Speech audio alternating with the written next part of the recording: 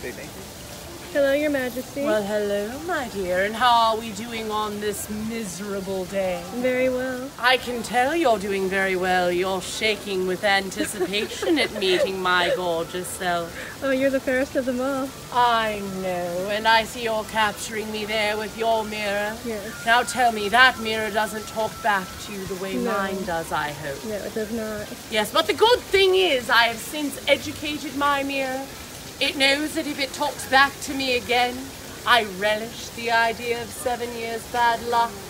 That just means one year for each of those dirty little men. Oh my goodness.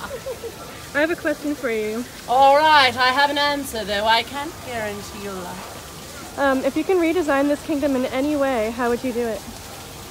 Well, I'd have all of my villainous friends join me at all times. Replace this minuscule kindling with my gorgeous castle. Yes, and plenty more dungeons. Dark places to hide, of course. Yes. I think it would be perfect.